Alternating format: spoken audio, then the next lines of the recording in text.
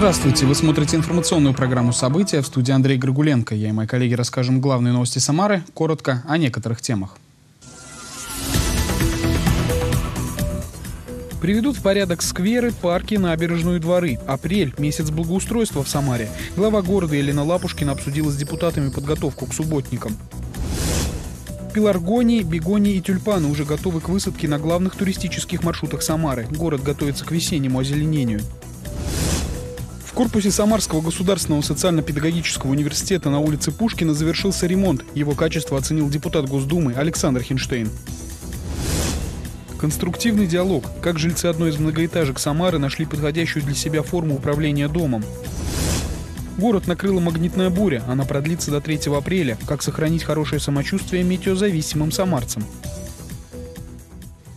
Самара получит дополнительные средства из вышестоящих бюджетов. Они поступят несколькими траншами в течение трех лет и будут направлены на решение социальных вопросов. Каких именно, расскажем в нашем сюжете. Бюджет Самары получит дополнительные средства. Изменения в главный финансовый документ города обсудили сегодня на заседании Думы городского округа Самара с участием главы Самары Елены Лапушкиной. В текущем году из вышестоящих бюджетов поступит 7 миллиардов 79 миллионов рублей. В 2023 – 8 миллиардов 116 миллионов. В 2024 – 8 миллиардов 239 миллионов рублей. Средства будут направлены на решение социальных вопросов. Конечно, это в основном социальная направленность, да, это ремонт наших детских садов, это ремонт восстановления дорог, это содержание дорог, что сейчас становится актуальным в рамках проведения мечника, и другие виды работ, но тоже касающиеся жизнеобеспечения нашего города. Зима в этом году выдалась капризной. Сильные морозы внезапно сменяла оттепель. Как результат, дороги пришли в ненормативное состояние. Поэтому свыше 700 миллионов рублей из выделенных средств будут направлены на содержание дорог. Это не только ремонт, но и установка дополнительных дорожных знаков, мероприятия в рамках нацпроекта «Безопасные качественные дороги», оборудование лежачих полицейских, установка дополнительных светофоров. Кроме того, средства будут направлены на организацию образовательного процесса, на капитальный ремонт и оснащение учреждений дошкольного образования, на их обустройство для детей с ограниченными возможностями здоровья. Средства мы получили на капитальный ремонт двух детских садов.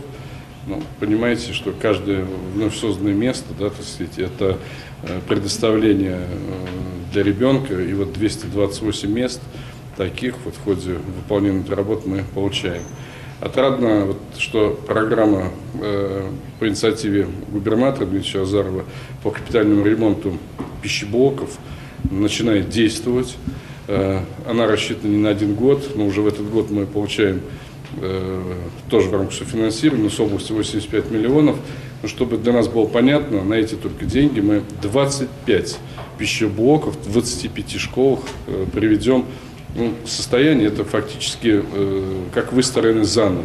Деньги направят не только на проведение ремонта в школьных столовых, но и на замену всего технологического оборудования. Кроме того, на выделенные из вышестоящих бюджетов средства в этом году в 156 школах будут организованы лагеря летнего пребывания. Виктория Шарая, Константин Головин. События.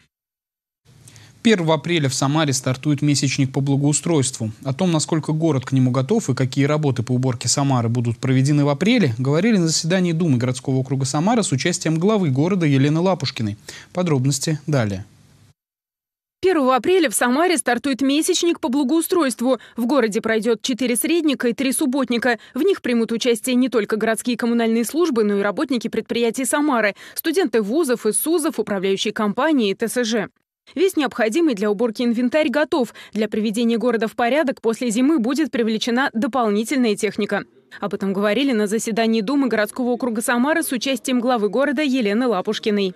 И, конечно, виды работ будут зависеть э, в том числе от погоды. Мы понимаем, что первая неделя – это в основном вырошение снега, потом это подбор вытывшего мусора, подметание, э, помывка улиц, восстановление малых архитектурных форм, восстановление вскрытий, которые аварийных э, во время зимнего периода, озеленение – это восстановление наших ограждений, которые пострадали у нас зимой, это очистка наших столбов, а, опор освещения, опор ТТУ, посадка новых деревьев, посадка цветов – и многое-многое другое. Без внимания не останется ни одна улица, ни один двор. Также приведут в порядок скверы, парки, набережную, уборка речных берегов под особым контролем.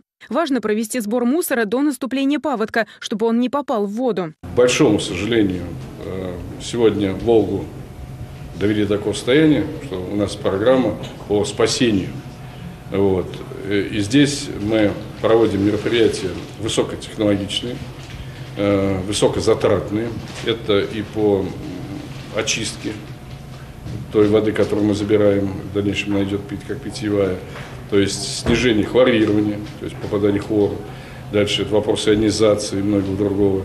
И самое главное, это мы достигли высоких технологий по очистке.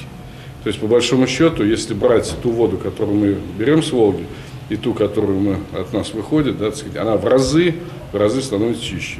Вдоль Волги расположено 11 регионов, три республики. Важно провести расчистку берегов одновременно совместными усилиями. Для этого самарские депутаты координируют действия с коллегами из других регионов. Особое внимание во время уборки города – традиционное место проведения Парада Победы 9 мая, а также фестиваля «Российская студенческая весна», который в этом году пройдет в Самаре. В этом месте очистить город от последствий зимы помогут молодые парламентарии. В целом все эти мероприятия приводят город, э, наш шикарный город, в еще более эстетический вид. А в этом году у нас еще и такое крупное мероприятие, как э, Всероссийская студенческая весна, юбилейная студенческая весна, когда к нам приедет множество гостей. И мы хотим, чтобы город к этому был, конечно же, готов. Сейчас идет переоборудование городской уборочной техники с зимнего содержания на летнее. Смотр пройдет 21 апреля. Виктория Шарая, Константин Головин. События. В этом году парки, скверы, бульвары и улицы города украсят полтора миллиона цветов. В Самаре продолжается реализация муниципальной программы «Цветущий город». Общая площадь цветников, которую планируют засадить, превысит 38 тысяч квадратных метров. Цветы для этого в теплицах одного из муниципальных предприятий начали выращивать с начала зимы. О том, как преобразится город уже в следующем месяце, расскажет Михаил Ермоленко.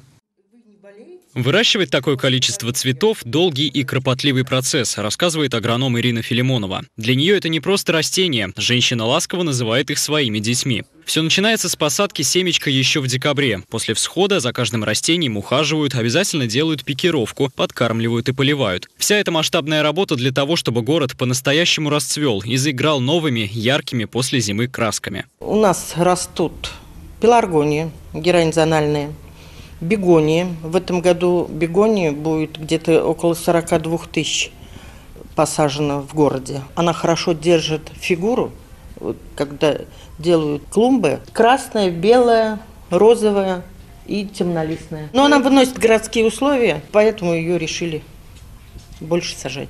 Миллионы не только алых роз, но и петуний. Уже к концу апреля эти красавицы украсят парки и скверы Самары. А к 15 мая город полностью превратится в цветущий сад.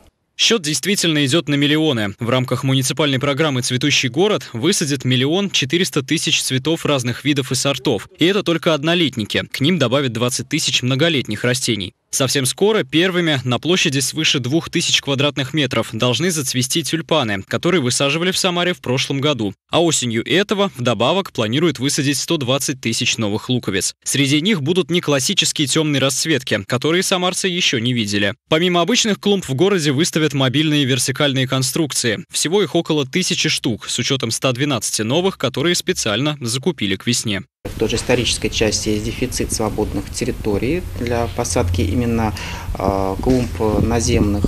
Почему у нас и стало в последнее время очень активно внедряться мобильное вертикальное озеленение. Мобильная конструкция, она устанавливается, может, и на асфальте, и те же кашпо вдоль улично-дорожной сети, и позволяет как бы проводить цветочное оформление тех, э, скажем так, районов города, где невозможно сделать клумбу непосредственно уже традиционным способом. Общая площадь цветников в этом году составит более 38 тысяч квадратных метров. Клумбы начнут появляться сначала на туристических маршрутах. В первых числах мая будут украшать места проведения юбилейной российской студенческой весны. Высадят около 7 тысяч квадратных метров цветников. Специально к этому событию специалисты разработали 6 новых ландшафтных конструкций, на которых будут размещены логотипы студвесны. Это арт-объекты в виде лавочек, на которых можно будет посидеть и, конечно же, сфотографироваться. Специалисты профильного предприятия заверили, все растения адаптированы к городской среде и климату и будут долго радовать своим видом самарцев и гостей города. Михаил Ермоленко, Григорий Плешаков. События.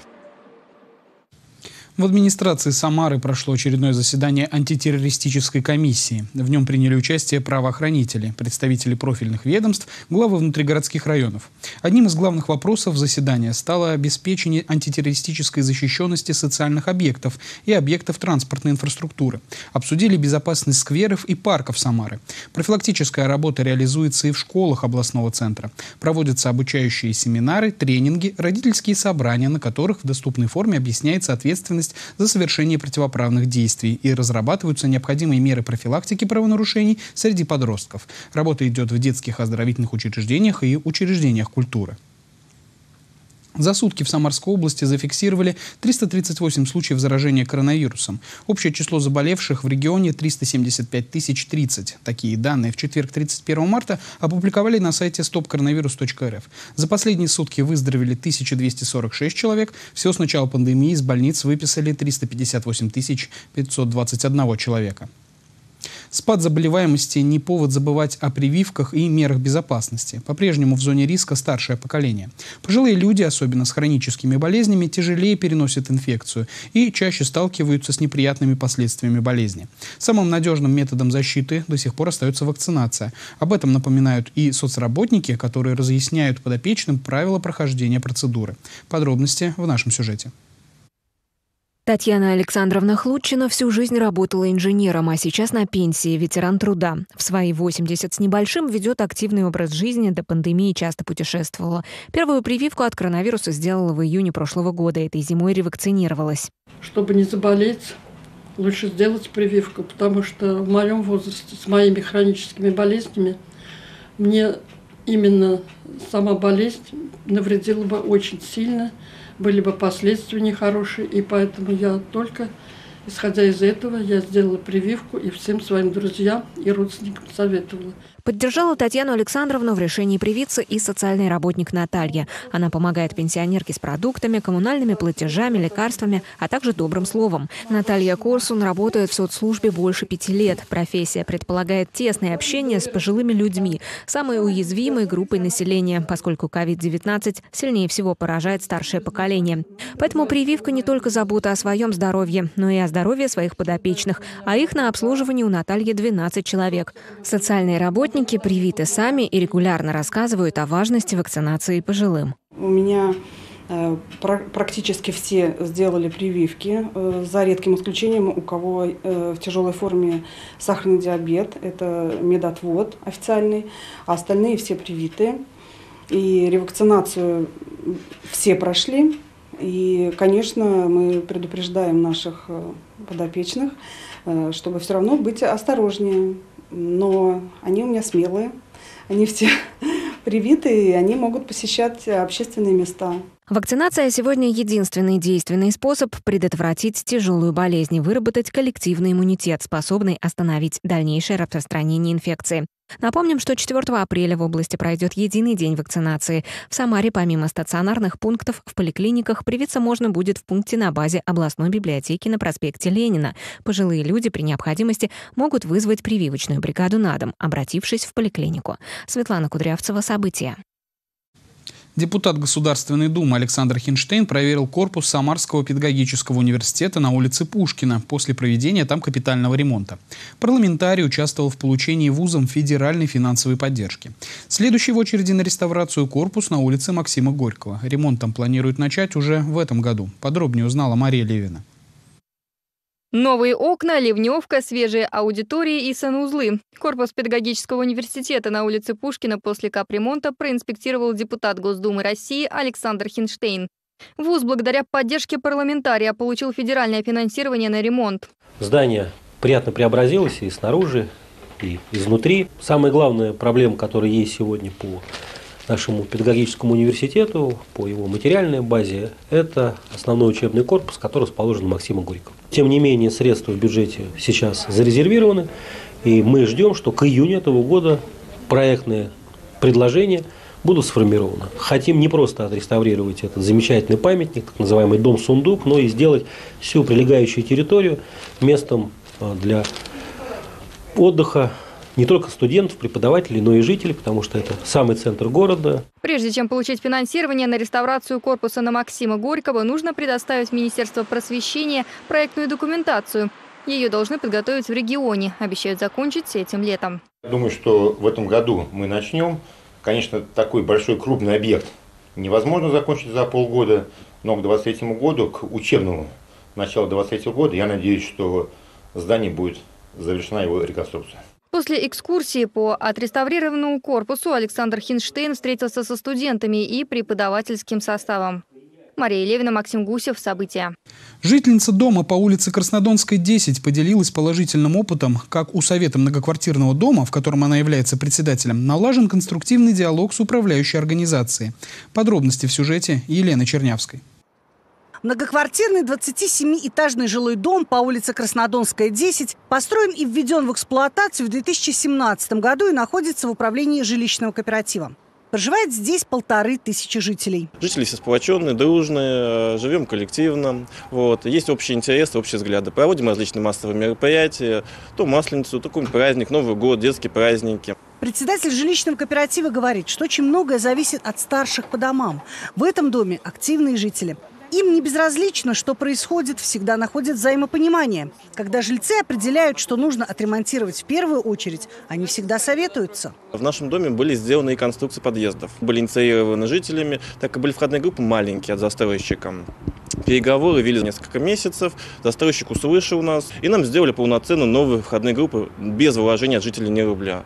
Сами жители работы мастеров довольны на 100%. Они постарались на совесть. Сделали все качественно и оперативно.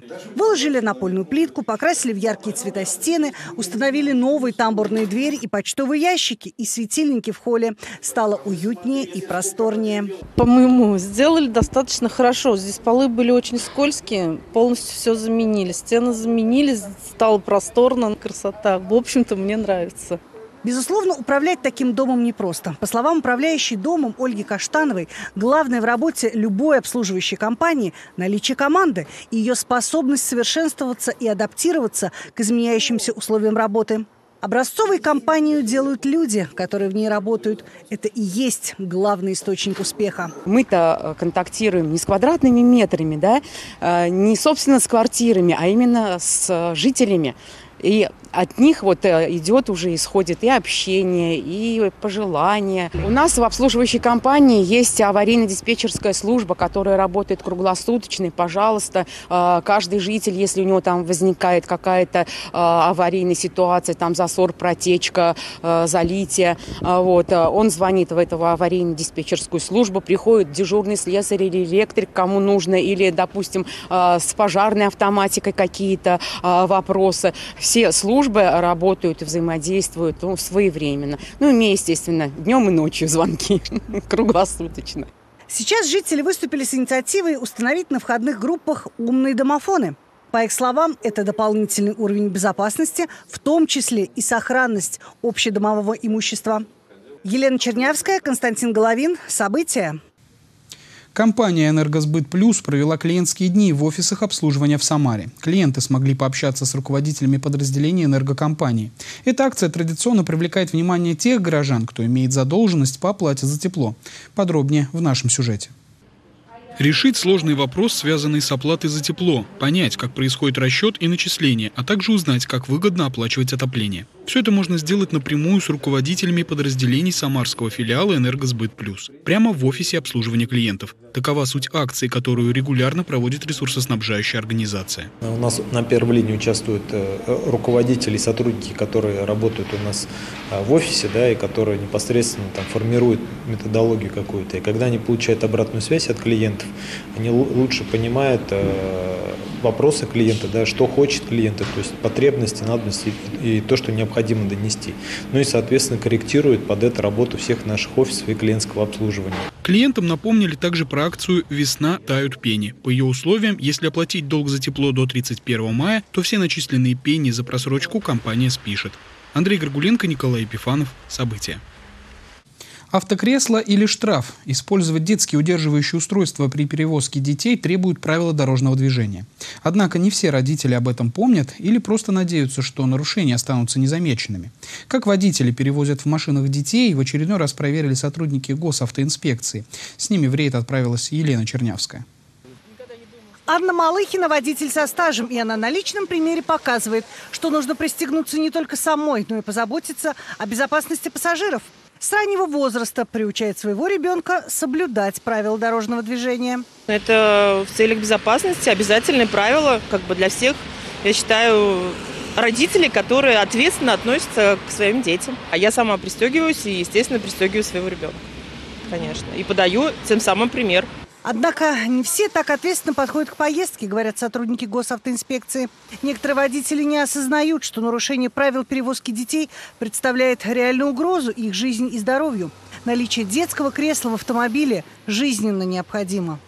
Ежедневно выявляются такие нарушения. Чаще всего утреннее время, когда то есть родители везут своих детей непосредственно в детские сады, школы. Чаще всего пытаются сослаться на то, что ребенок неспокойно, ну, не может сидеть на месте. Ну, это уже обязанность родителей, потому что мы в ответе за своих детей. То есть поэтому как бы снисхождения и предупреждений здесь не бывает.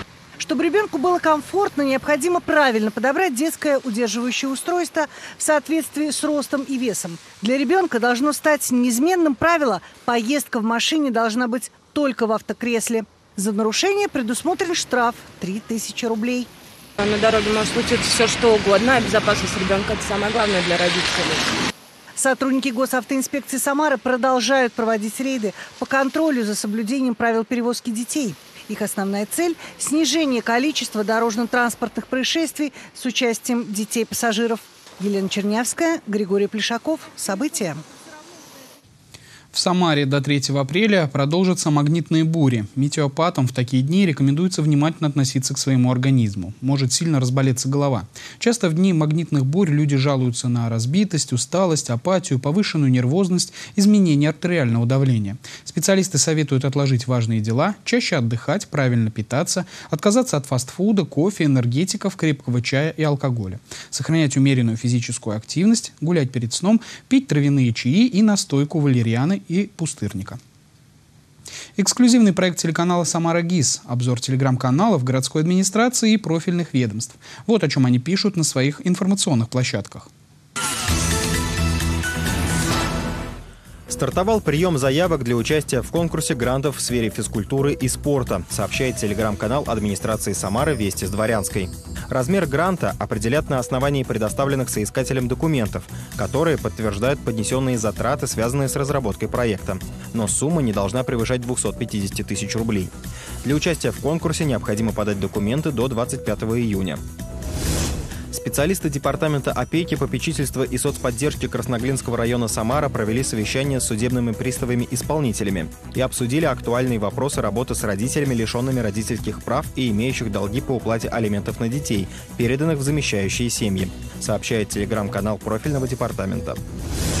Самарская публичная библиотека приглашает жителей принять участие в создании музейной экспозиции «Городское собрание». Экспонатами станут фотографии, документы, предметы быта и семейные реликвии самарцев.